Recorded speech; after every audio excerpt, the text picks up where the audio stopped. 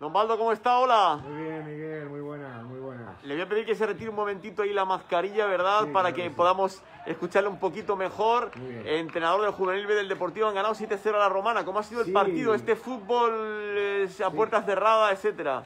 Pues sí, Miguel. ¿Y sin es vestuarios? que, pues sí, la verdad es que los chavales han tenido que, que venir vestidos de casa, ¿verdad?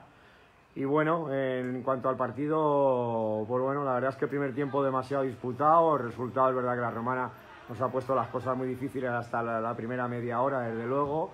Bueno, es verdad que nos hemos encontrado con, con tres goles muy seguidos y hemos hecho un buen partido en líneas generales. La verdad que la actitud de los chavales ha sido buenísima y destacar también, Miguel, sobre todo la actitud de, de- del equipo contrario, en este caso de la romana, que, que, bueno, que aparte de resultados ha aportado fenomenal, desde luego.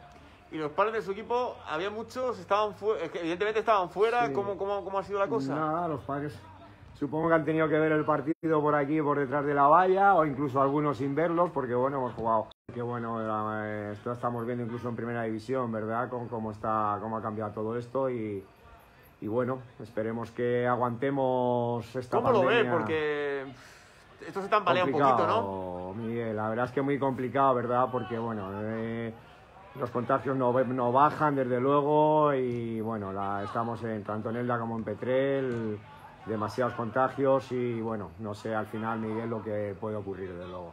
Y de momento lo que vemos aquí, Don Baldo, por enseñarlo, ¿verdad? Sí, es que, claro, lo- los jugadores se tienen que cambiar más o menos por aquí porque, evidentemente, mm, no se permite ducha ni vestuarios. Claro, los chavales tienen que, que, pues eso, Miguel, buscarse la vida como sea por aquí, por los rincones de, de las instalaciones y bueno, y, y así ha sido, Miguel. Unos, unos han venido con la camisa ya vestida de casa, otros han cambiado aquí y bueno, la verdad es que eh, así tenemos que aceptarlo y adaptarnos todos un poco a esta forma de, de jugar, desde luego.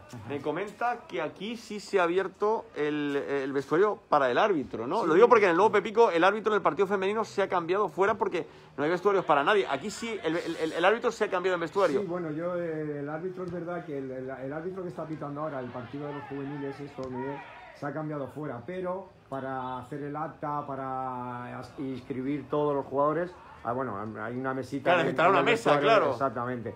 El vestuario que hay, la mesita en, al lado de los servicios, pues bueno, ahí han, han hecho su trabajo, desde luego.